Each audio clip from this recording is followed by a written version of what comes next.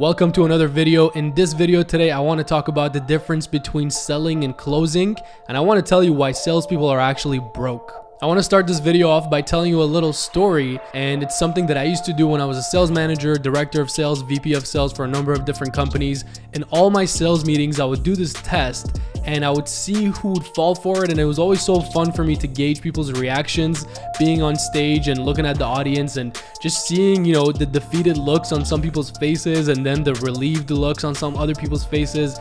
So the test goes like this. I would always get in front of the room, start my morning meetings and I would say, who here believes that salespeople are rich or wealthy or make a lot of money? Put your hands up. And then I would just wait. I would see who puts their hands up. And usually, most of the room, when you're sitting in a room full of salespeople, sales managers, executives, and business owners, a lot of people tend to raise their hands. Yeah, salespeople are wealthy or rich. You know, obviously, you know, salespeople are the guys that are balling. And I would always look at the crowd, wait for a couple of seconds, and, you know, just scan around and make sure everybody puts their hands up. And then what I would do is I would say, wrong. I hate to break it to you guys, but every single one of you are wrong. Salespeople are actually broke. And then I would pause. And then you should just see the defeated looks on some of the people's faces in the room. And the funniest part of this story is one time we actually had a whole team of executives a couple of the business owners and partners in the company with a camera crew. So we have a photographer, a videographer, an entire camera crew come into our office and I get in front of the room and I open the meeting like this and literally every single person was looking at each other like what's this guy saying? Even the camera guy was looking around confused, not sure if I should be on stage or not. And then as soon as I gave him the second part of that, half the people's faces were relieved and they received, you know, almost a confirmation of what they already believed and what they already do. And the other half of people's faces were a little shocked and they realized the work ahead of them. So I'll tell you what that second part is. So after I told everybody wrong, salespeople are actually broke, what I went on to say is the reality is it's closers who are wealthy. It's closers who are rich. It's the closers who get everything they want in life. And there's a difference between selling and closing.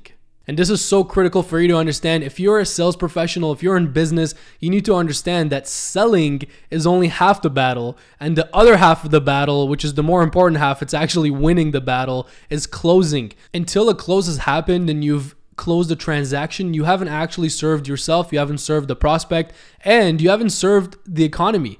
The economy is made up of transactions and exchanges. And if you're not closing and exchanging and transacting with your prospects, you're not helping the economy out either. So it's a lose, lose, lose. So it's important to understand this point. You're literally serving nobody if you're not closing deals. And the difference with closers is that closers think that if they're not closing a deal, if they don't wrap it up today with that prospect in that moment, they're doing a disservice to everybody. They're doing a disservice to themselves. They're doing a disservice to the company, the business, the brand that they represent. And they're also doing a disservice to the prospect because they've spent all this time and they haven't actually solved the problem for the prospect. And therefore, they're just doing a disservice to everybody. So closers take that much responsibility for closing the deal. And this is why they get everything that they want, they get everything that they deserve.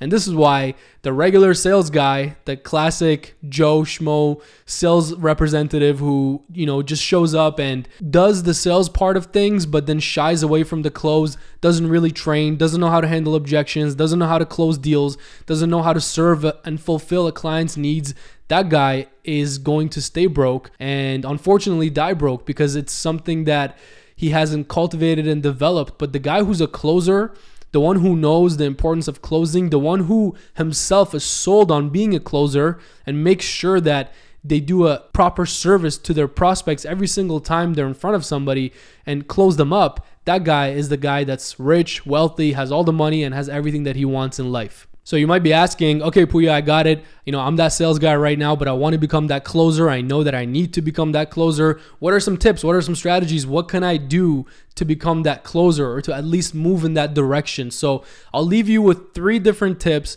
on how you can become a closer and you can go from a loser to a closer. You can stop losing, you can start closing, and all that money that you're leaving on the table can start to go into your bank account. So here we go. Tip number one is the mindset piece. And the mindset piece is the most important thing because that's the differentiator. That's what separates you from every single other salesperson out there or business owner or entrepreneur out there. And the mindset piece when it comes to closing is closers take responsibility for the selling, of course, and for the buying.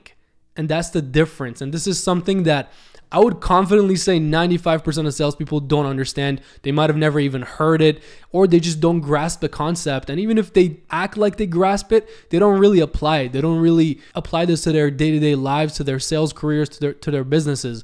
So, what that means is taking responsibility for the selling is something I would say most salespeople do to a certain extent. They know the sales process, you go through presenting your features and benefits and your product and your service. That's all great. The difference between a closer and somebody that's just a regular sales guy is the closer also takes responsibility for the buying. So they'll take full responsibility for that person making a decision that day. So when you're in front of a prospect and I'm the closer, I'm taking responsibility for selling and buying. When I'm talking to somebody and I'm getting objections and I'm getting complaints and stalls, and if you don't know what those things are, don't worry in my content that's coming up, I'll clarify everything and I'll break down the entire sales game for you guys. When I'm sitting as a closer in front of a prospect and they're having doubts, they're having troubles, they're having issues figuring out how they can financially afford the product, they're having a hard time deciding on which product, which service, which feature, which payment plan, whatever it is. As a closer, and somebody who's committed to closing, what I do is I take responsibility for the buying. So I put myself in the shoes of the prospect and present myself as a friend, as somebody who's here to help, who's here to give you an expert opinion, who's here to give you a recommendation. And what I would say is, hey, listen, John, from everything that you've told me so far, from understanding what what problem you're solving here from blah blah blah just you know repeating the things that you've heard them say all their pain points and the things that you realize they need to solve the problem they're here to solve I would say, hey, John, based on everything you've told me, personally, I wouldn't even recommend option A. So let's let's remove that off the table. What I would recommend is option B because of blah blah blah blah blah and because of xyz and because of this and this and that. I think in my expert opinion this would be the better option for you. I personally think that the term that you're looking at is you know a 60 month term. I think we should stretch that out to a 72 month term and that would make more sense for you. That way you can make the payments uh, easier as well and you can make sure that you're getting everything you deserve in this package. So all that being said john if there's no more reservations or questions left let's go ahead and get this deal done today. You know just asking for the sale asking for the close after that kind of objection handle. But Besides being an objection handling tactic, this is really a mindset. So I gave you that brief example just so you understand how closers really think and what it means to take responsibility for the selling and for the buying. Tip number two of how to go from a regular sales guy to a closer is closers sell with emotion and close with logic. So I'll repeat that again. Closers sell with emotion and close with logic. Now, you might have heard the opposite of this. I've personally heard from a number of different sources or gurus that you need to close with emotion and you need to get get the prospect riled up and emotional, get them heated, get their, you know, juices flowing and then close them.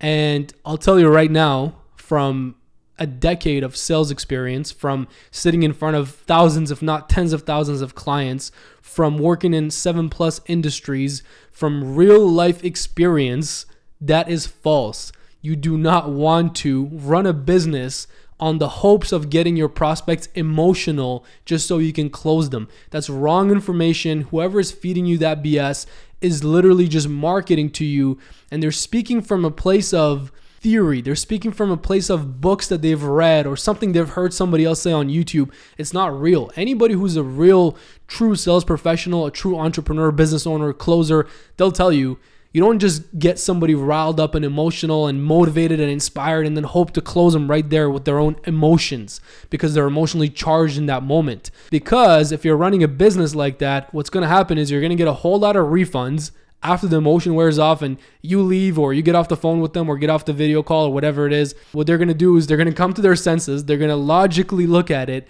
do the math on it, think back to all the reasons they had not to do it. And then they're going to give you a call and say, hey, listen, uh, I'm not going to go ahead with this. I, I've changed my mind. And you're going to experience a lot of that. And I'll tell you right now, as a sales professional, I've been there in my early days. In my younger days, I've done that. And it's not pleasant to get those phone calls after the sale is done and after you think you've closed the deal for a prospect to call you and say, hey, listen, I've changed my mind, then more often than not, you're not going to get that deal back, right? So to avoid that and to take responsibility like a true sales professional, like a true closer, you want to sell with emotion. So, of course, you want to be enthusiastic, you want to be engaged, you want to be excited, you want to be smiling, you want to have a can do, will do attitude when you're selling.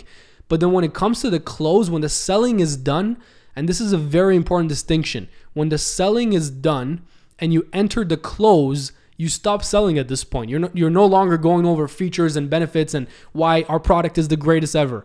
Now you're in the close, so now you're looking at how to get this deal done, how to make it make sense to this prospect. So you're looking at the payment terms and plans, you're looking at the specific package that for their needs after everything that you've done already. You've qualified the prospect. Now you're looking at the proposal. You're looking at how to get this customer wrapped up closed and how to make it make sense to them.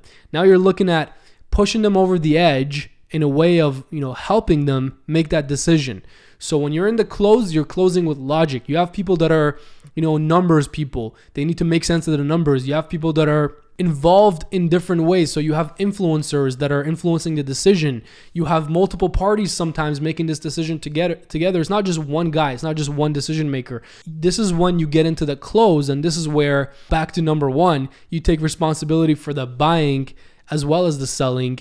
And you want to make sure you wrap that customer up and you close them up. And again, you sell with emotion and you close with logic. Tip number three is you want to commit to being a closer. You want to commit to going from a loser, a typical standard, you know, salesperson who's never really achieving their goals and who's always frustrated and hates sales and talks bad about sales but stays in that same sales job, you know, forever. You want to go from being that guy to a closer, to somebody who's getting results, to somebody who's getting everything that they want in life. And the way that you do that on a consistent basis and you don't struggle with the roller coaster and the ups and downs that, you know, sales professionals go through is you make a commitment to becoming a closer. You make a commitment to adopting this closing mindset in any scenario, in any situation, and in front of any prospect. So that's my message for today. I hope you know now why salespeople are broke and why it's actually closers that get everything they want in life. Stay tuned. I got a lot more fire coming your way, some exciting content, and I want to really break down this entire sales game for everybody and make it make sense from a place of real experience, real tangible experience. No, you know, theory and reading books and BS marketing tactics, real sales strategies, the real sales game. I want to break it all down for you and I want to compress a decades of sales experience from my own life into days, into videos for you, into minutes, into hours. So stay tuned. I'm excited for you. See you next time.